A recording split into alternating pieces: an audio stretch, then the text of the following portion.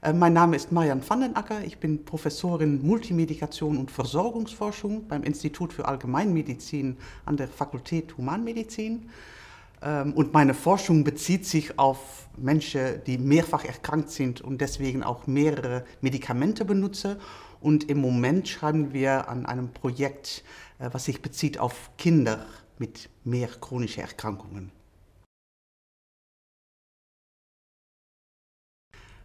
Schreiben ist, es ist ein lang dauerndes Prozess, ist auch ähm, nicht einfach.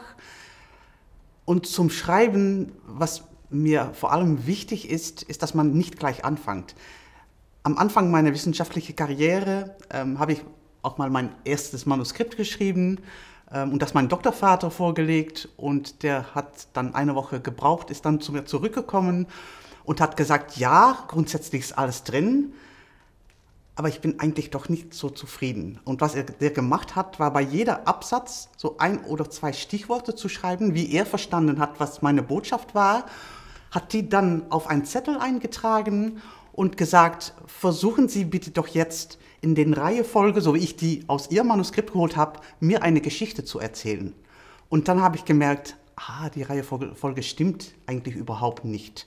Und was ich davon gelernt habe, ist, dass es ganz wichtig ist, eigentlich am Anfang sich erst die Geschichte und die Botschaft auszudenken, das mit Stichworte aufzuschreiben und erst dann anzufangen, Sätze oder Absätze zu schreiben. So eine Teamarbeit ist natürlich nicht immer einfach, umso mehr, wenn es zum Beispiel auch manchmal Projekte betrifft, ähm, mit drei, vier Standorte, wo man am Ende vielleicht zwölf bis 15 ähm, Co-Autorinnen und Co-Autoren hat. Ähm, man kann das unterschiedlich organisieren. Je kleiner die Gruppe, umso einfacher ist es natürlich. Einerseits kann man sagen, ich schicke es an alle gleichzeitig raus, ähm, schreibt bitte alle rein und es kommt zurück. Und immer bleibt die Erstautorin oder der Erstautor die Hauptverantwortliche. Die entscheidet letztendlich, was geht mit rein und was nicht. Ähm, es kann manchmal auch hilfreich sein, es einem nach dem anderen zuzuschicken, weil Sie können schon verstehen, wenn es von zehn Leuten zurückkommt und jeder hat sein Ding gemacht, das ist schon mal eine Riesenarbeit, das wieder alles zusammenzubringen. Und wenn es in Reihefolge geht, dann sieht auch jeder nächste Co-Autor oder Co-Autorin, was schon passiert ist, welche Kommentare gegebenenfalls reinstehen und kann auch schon darauf reagieren. Das macht es manchmal einfacher.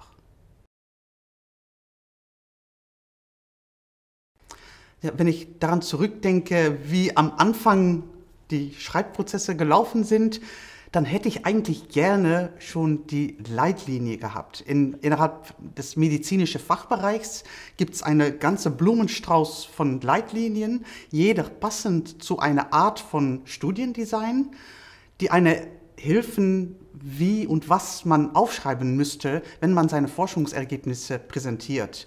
So für ähm, Clinical Trials gibt eine eigene Leitlinie, für Beobachtungsstudien und sicher, wenn man am Anfang ist, ist das sehr, sehr hilfreich. Nicht nur, was reingeht, aber auch, was wozu gehört. Was ist Methodik? Was, wann, mit, mit was fängen, fängen die Ergebnisse an äh, und so weiter.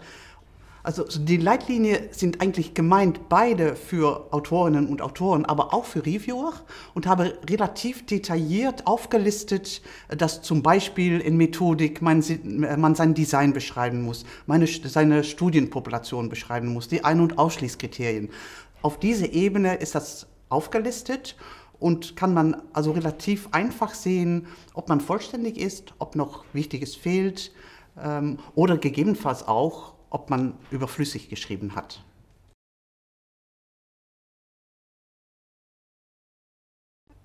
Wenn man seine Forschungsergebnisse beschreibt in einer Publikation, gibt es doch einige feste Regeln.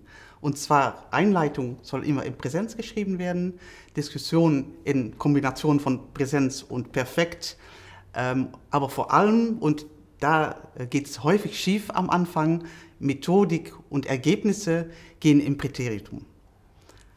Ähm, weiter ist es so, dass vor, bis vor einige Jahre viele Zeitschriften eigentlich eine passive äh, Formulierung vorgesehen haben. Jetzt wird das immer mehr auch erlaubt, das aktiv zu machen, so zu sprechen, ich habe oder wir haben, äh, was mir sehr gefällt, auch wenn ich äh, als Leserin ähm, Forschungsergebnisse lese. Ähm, so, wenn eine Zeitschrift die Möglichkeit gibt, würde ich das sicher empfehlen.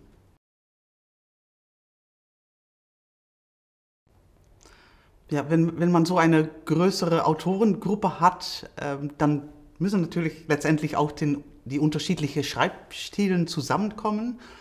Ähm, auch das ist eigentlich Aufgabe der Erstautorin oder des Erstautors.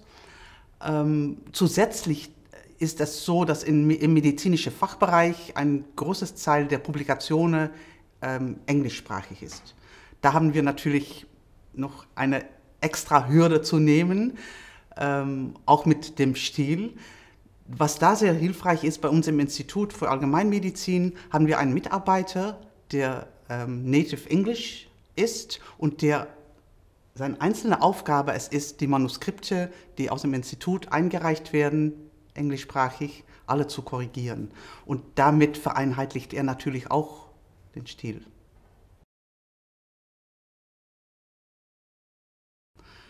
Wenn man noch dabei ist, das Schreiben eigentlich zu lernen, obwohl man da auch sagen kann, man ist nie fertig mit Schreibelernen, ähm, aber am Anfang kann es wirklich schwierig sein und da gibt es einige Serien in Zeitschriften, die da für medizinische Fachpublikationen sehr hilfreich sein können.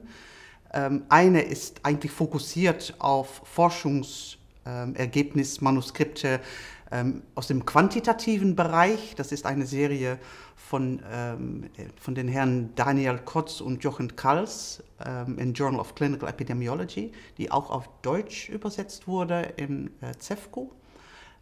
für die qualitative Forschung gibt es eine ähnliche Serie äh, von Frau Kostens und Frau Moser im European Journal of General Practice. Und da wird ähm, jeweils äh, zum Beispiel gesagt, Einleitung, das soll man so und so anfangen, ähm, so kann man, diese Perspektive kann man mit reinnehmen. Ähm, und die erste genannte Serie in Journal of Clinical Epidemiology hat zehn Teile und fängt wirklich an, wie kann man überhaupt anfangen zum Schreiben mit den ganzen Absätze und am Ende das letzte Teil, wenn ich es richtig habe, geht auch darauf ein, wie gehe ich mit Reviewer-Kommentaren um. Wenn ich schon eingeschickt habe, es kommt zurück mit der Bitte, es zu überarbeiten, wie gehe ich damit um. So, das ist wirklich ganz umfassend und hilfreich.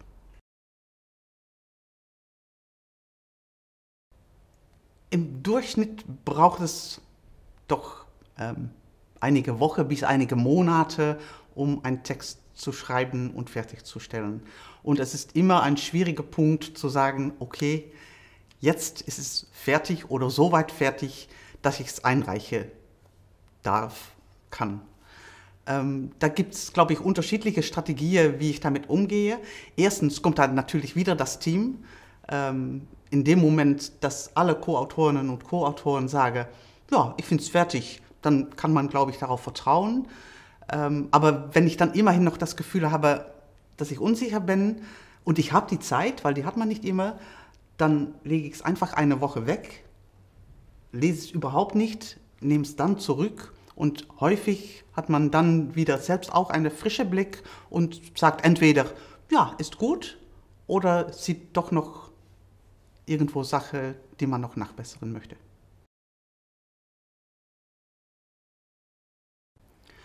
wenn während des Prozesses des Schreibens ähm, mal die Motivation fehlt oder man nicht weiß, wie weiterzukommen, auch dann, es wird fast langweilig, glaube ich, aber auch dann ist das Team wirklich wichtig, weil äh, einerseits man kann es mal weiterleiten, was man bisher geschrieben hat, oder aber auch in Teamsitzungen einfach darüber sprechen, sagen, das sind hier meine Schwierigkeiten, ich weiß in der Diskussion nicht, wie ich das interpretieren muss oder wie auch immer. Ähm, so, da ist vor allem das Team auch wichtig. Ähm, wenn man eine Serie schreibt, kann es auch mal helfen, zurückzulesen, was schon publiziert wurde und zu denken, ach ja, das war am Ende doch ein tolles Stück.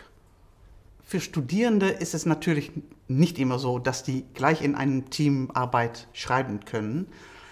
Ähm, aber Studierenden haben eigentlich immer eine Betreuerin oder Betreuer Die sind natürlich häufig ganz voll besetzt. Ich finde es aber wichtig, dass die Studierenden sich auch bewusst sind, dass sie auch ein Recht auf diese Betreuung haben. Und diese Betreuung kann auch darauf beste daraus bestehen, dass man gemeinsam sich einen Text anschaut, dass man seine Probleme bespricht und eigentlich die Betreuerin oder der Betreuer als ein Miniteam benutzen kann in diesem Sinne.